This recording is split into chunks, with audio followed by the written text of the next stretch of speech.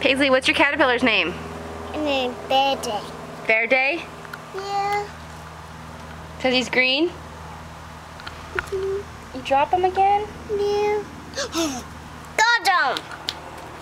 So his name is Verde? Yeah. Does he speak Spanish? Yeah. And English too? Mm-hmm. Does he love them both? How about you? Yeah. I say a weep up, up a hole down. Mm, he's right there. Come here. Say, come here, Verde. Come here, baby. Got him. Put him on my leg. Right here. No.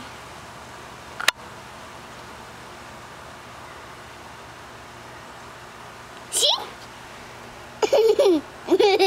I am a got him.